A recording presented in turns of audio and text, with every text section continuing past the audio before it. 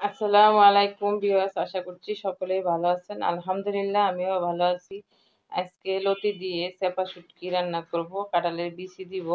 তো কীভাবে রান্না করতেছি প্লিজ ধৈর্য সহকারে দেখবেন। আর দেখতে দেখতে যদি ভালো লাগে, একটা লাইক দিয়ে দিবেন। আর যারা নতুন ভিউয়ার্স, আপুরা, ভাইয়ারা নতুন দেখতেছেন, তাদের কাছে আমার রিকোয়েস্ট আপনারা একটা সাবস্ক্রাইব করে দিবেন। আর অল অপশনে দিয়ে ক্লিক করে দিলে যে কোনো ভিডিও তারা সঙ্গে সঙ্গে আপনাদের কাছে পৌঁছে যাবে। আর যারা সাবস্ক্রাইব করে দিয়েছেন তাদেরকে অসংখ্য অসংখ্য ধন্যবাদ। তো এই যে ছয়টা চেপা নিয়েছি আর কাঁঠাল বিচিগুলো নিলাম আর লতিগুলো আমি কেটে নিব। কাঁঠাল বিচিগুলো এই যে চার পাল্টা করে আমি কেটে নিচ্ছি, চিকন চিকন করে। লতির মতো আর কি চিকন করে কেটে নিচ্ছি। এগুলো আমি এখন শুকলাগুলো ছাড়াবো আর কয়েকটা আলু দিয়ে দিব। তো এই যে হাতটা কেমন কালো হয়ে গেছে। তো হাত কালো হওয়াতে কোনো সমস্যা নাই কিংবা ভয় নেই। আমি হাত আবার সাদা করতে পারি। কীভাবে করি? আমি অন্য একটা ভিডিওতে আপনাদের সঙ্গে শেয়ার করব। তো এই যে আলু কেটে নিছি আর কাঁঠাল বিচিগুলো চুলকা সারিয়ে আমি নিছি। আর যে লতিগুলাও কেটে নিছি। এখন আমি সবগুলা দেখাচ্ছি কি কি নিয়ে নিছি। চাপা শুটকি, এই যে ছয়টা চাপা শুটকি নিয়েছি আমি। গ্রান হবে ভালো। তো সবগুলো ধুয়ে নিলাম। কাঁচামরিচ, রসুন নিয়ে নিছি আমি। তো এগুলা কীভাবে আমি রান্না করব আপনাদের সঙ্গে শেয়ার করতেছি। প্লিজ ধৈর্য সহকারে দেখবেন। তাই যে আমি চুলায় গরম পানি বসেছি আমি একটু লতিগুলা একটু হালকা ভাব দিব আর কি, গরম পানিতে একটু বলক আসা পর্যন্ত।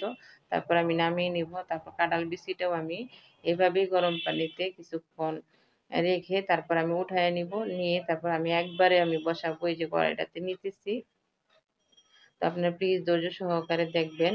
আর শেষ না হওয়া পর্যন্ত কোথাও যাবেন না। আপনাদের কাছে আমার অনুরোধ রইল, শেষ পর্যন্ত দেখে যাবেন কীভাবে আমি রান্না করতেছি। ধৈর্য সহকারে দেখবেন ফ্রেন্ডস অ্যান্ড ফ্যামিলির সঙ্গে শেয়ার করবেন। তো এই যে আমি একটা সেচনি নিয়ে নিচ্ছি এটা হচ্ছে আমার কার্ডের সেচনি। আমি মেলা থেকে কিনছিলাম। তো আমি এখানে দিয়ে দিচ্ছি কিন্তু কাঁচামরিচ, রসুন, তারপর চেপাটাও আমি দিয়ে দিছি।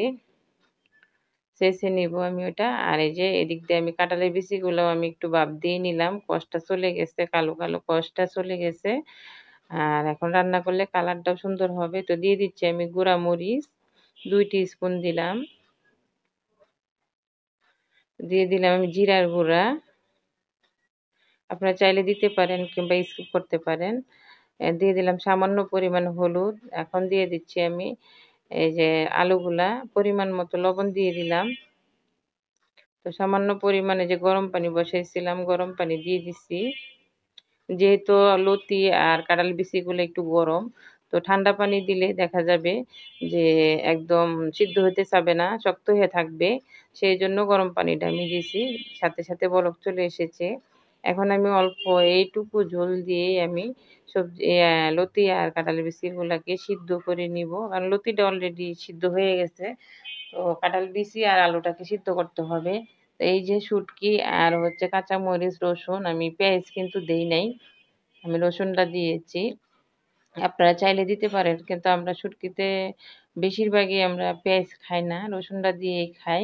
তো আমি এই যে ছেঁচুনিটা ধুয়ে অল্প পরিমাণ পানি দিয়ে দিছি। দিয়ে আমি একদম ডেকে এভাবেই রান্না করে আমি নামিয়ে নিব। আপনারা ধৈর্য সহকারে দেখতে থাকুন আমি কীভাবে চাপা শুটকি রান্না করি। একদম শুকনা করে আমি নামাবো। এই যে নিচে একটু ঝোল আছে, সেটাকেও আমি শুকিয়ে একদম শুকনা করে আমি নামিয়ে নিব।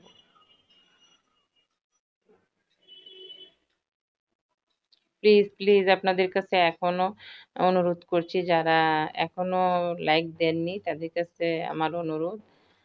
আপনারা একটা লাইক দিয়ে ভিডিওটা দেখা শুরু করবেন। আর নতুন যারা পুরা ভাইয়ারা দেখতেছেন ভিডিওটা তারা একটা সাবস্ক্রাইব করে দিবেন। অল অপশনে যে ক্লিক করে দিবেন যে কোনো ভিডিও ছাড়া সঙ্গে সঙ্গে আপনাদের কাছে পৌঁছে যাবে। আর যারা সাবস্ক্রাইব করে দিয়েছেন তাদেরকে অসংখ্য অসংখ্য ধন্যবাদ। তো কথা বলতে বলতে এই যে আমি একটা কড়াইয়ে তেজপাতা দিয়ে দিলাম, তেল দিয়ে দিলাম আর কালি জিরা দিয়ে দিচ্ছি পেঁয়াজ কুচি দিয়ে দিলাম। এটা হচ্ছে আমি চাল কুমড়া যেটাকে বলে, জালি কুমড়া, চাল কুমড়া যে যেটা বলেন না কেন, সেটা আমি ভাজি করব, সেই জন্য দিয়ে দিচ্ছি। আমি এখন দিলাম রসুন বাটা, সামান্য পরিমাণ জিরা দিয়ে দিলাম গুঁড়া, ধনে গুঁড়া দিয়ে দিলাম। দিয়ে দিচ্ছি সামান্য পরিমাণ হলুদ। দিয়ে আমার আবারও একটু কষায় নিচ্ছি। তো এই যে জালি কুমড়াটা আমি সিদ্ধ করে রেখেছি, আলু দিছি কয়টা কুচি কুচি করে, তো আবারও দিয়ে দিলাম একটু লবণ, দিয়ে আমি এটাকে ভেজে নিব, দিয়ে দিচ্ছি এখানে কালো গোলমরিচের গুঁড়া অল্প পরিমাণ কাঁচামরিচ দিয়ে দিলাম,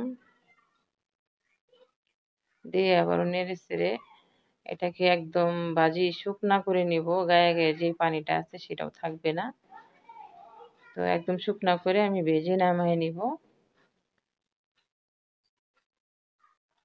তো আমরা আজকে এটা দিয়ে দুপুরে খাব শুটকি আর হচ্ছে ভাজি আর ডিম বোনা আছে। তো এগুলা দিয়ে আমাদের দুপুরের খানা দানা তো এই যে রেডি করে নিয়েছি সব কিছু এই যে ডিম বোনা করেছি, বাচ্চারা খাবে কারণ বাচ্চারা শুটকি খাবে না। আর আমরা খাব শুটকি। তো গরুর মাংস অল্প পরিমাণ আছে। বাচ্চারা এগুলো খাবে। আর ডাল আছে আগের আগের দিনের ডাল আছে। তো ফেলে দিব না, সেটাও খাওয়া হবে আমাদের। তো এই তো, আমরা দুপুরে খাওয়া দাওয়া সেরে নিব। দেখুন আপনারা শুটকির তরকারিটা কেমন হয়েছে। এখন আমি বাজি দিয়ে খাচ্ছি।